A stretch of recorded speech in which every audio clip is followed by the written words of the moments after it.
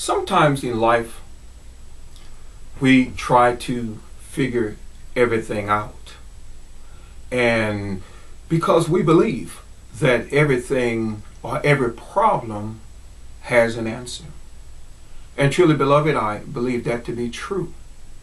But sometimes in life, God uses disappointments in order to train us, that we might become better soldiers for the Lord in this earth. Many times we desire to cast aside disappointments because disappointments can bring hurt, can bring pain, and we don't like to suffer as human beings. But disappointments sometimes can lead us into the direction of knowing the Father even better than we did at one time before.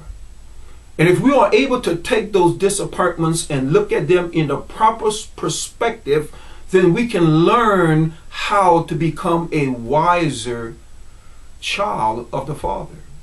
When Jesus Christ was uh, washing the feet of the disciples, Peter asked him this question in John 13, the sixth verse. Then cometh he to Simon Peter, and Peter said unto him, Lord, Dost thou wash my feet? And Jesus answered and said unto him, What I do thou knowest not now, but thou straight thou shalt know hereafter.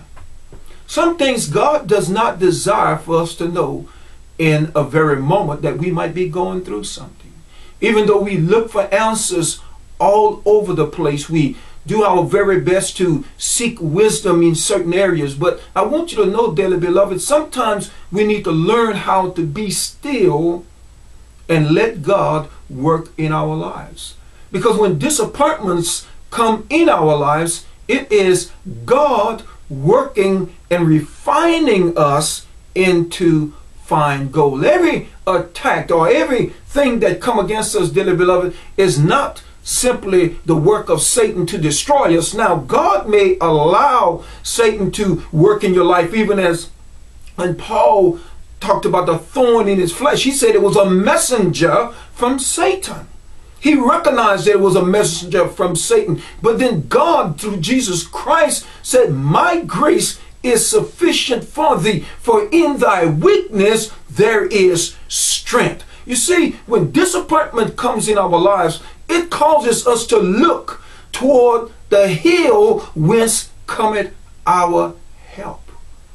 Many believers, many times, never look toward the hills because they look within themselves for the answer. Because if you look at the new gospel that is being preached today, it really teaches you how to look on the inside of you and find that little God, that little spirit, and if you somehow can attach yourself or learn more about it, then you are able then to be able to overcome life. And that is simply not the truth. Because God the Father purposely used disappointments in order to transform us and to put things in our lives that we might know Him in a more intimate manner.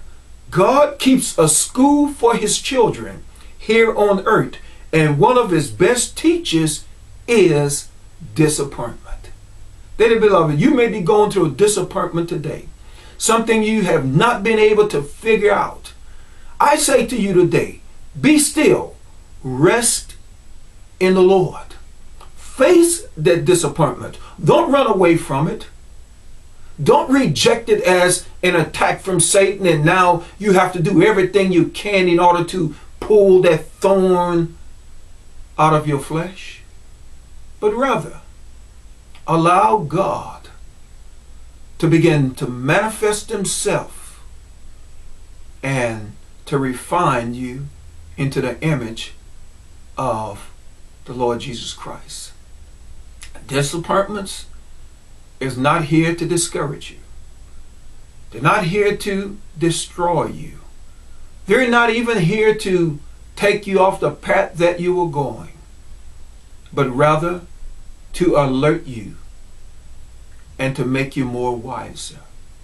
Just imagine if Jesus had taken the road of no disappointments. He would have never walked the path to Calvary.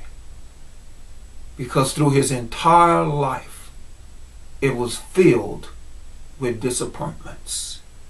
But yet, glory be to God, the Father took him up and said, You are my son. I am well pleased. Let not disappointments today change the direction that you're going in if you're going in the right direction.